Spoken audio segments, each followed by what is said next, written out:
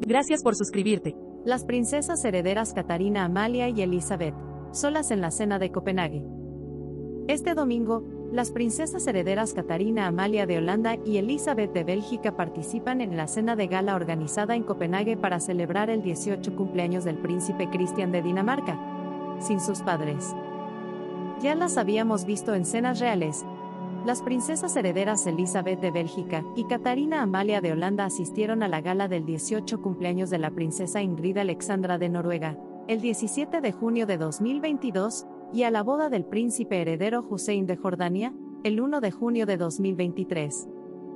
En ambas ocasiones, la duquesa de Brabante y la princesa de Orange estuvieron acompañadas por uno de sus padres o por ambos.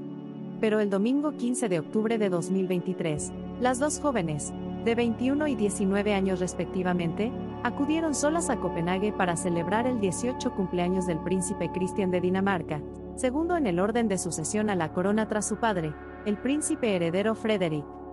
La hija mayor del rey Felipe de Bélgica y la reina Matilde y la hija del rey Guillermo Alejandro y la reina Máxima de Holanda entraron juntas en el castillo de Christiansborg para asistir a la cena de gala organizada por la reina Margarita II con motivo del 18 cumpleaños de su nieto.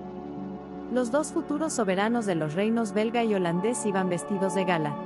Mientras que Elizabeth optó por un vestido sin tirantes de color champán con largos guantes de marfil, Catarina Amalia lució un vestido de capa azul.